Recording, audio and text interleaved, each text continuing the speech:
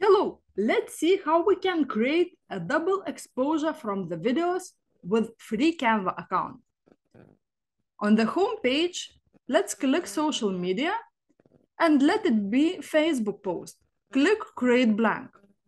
Now we need to search free videos. Let's go to the left side menu, click apps, and here we can choose videos. Click on it, and here we can choose any free video. I am using this one. Relax Woman.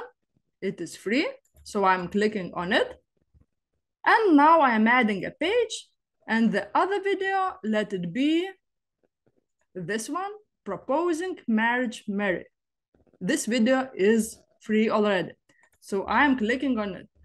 Now we have two videos and uh, let's make a double exposure. So here will be the second video and I want to resize it, make it bigger and put it to the right side.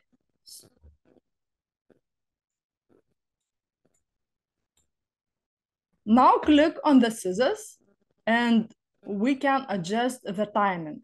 I am leaving the same 7.2 seconds.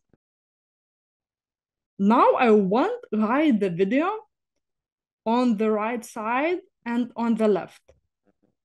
For this, I will use gradient transparent. Let's go to the left side menu, click elements, and enter gradient transparent to the search field and choose graphics. And now I will choose, for example, this one. It is already free. Click on it. We can resize it. And we can change color. I'm changing it to white. Now we can duplicate it, click Ctrl plus D, and let's make a few duplicates. Now we can rotate it, and we can put it to the right corner.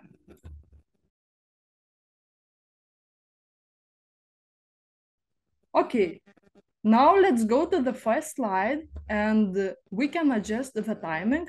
Click on it and here I will make it shorter. Let it be 7.2 seconds and click near the design. Now I'm clicking right button and click copy and here I click paste. Now I will resize it, make it bigger now I will delete the first slide and we can click on the video, go to transparency button, and here we can adjust transparency. Let's try 75.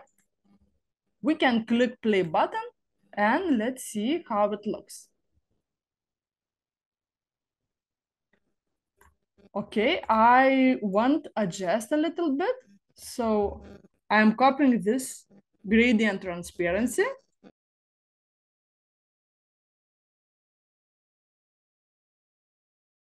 And I'm going to position layers and I am taking the video and dragging it up. Okay, and now let's see how it looks. Go to play button.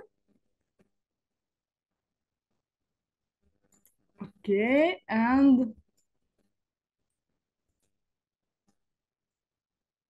I'm adjusting a little bit the video.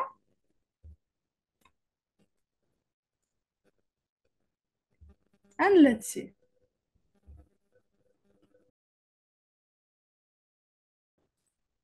Okay, when it suits us, we can go to share button, click share button, and we can download it. Click download, we can choose MP4 and click download. We can still apply effects if we want. Once the video is downloaded, let's upload it back to Canva. Now we can go to our downloads. We can take our video and drag it to Canva. Now click on the video. We can resize it, make it bigger.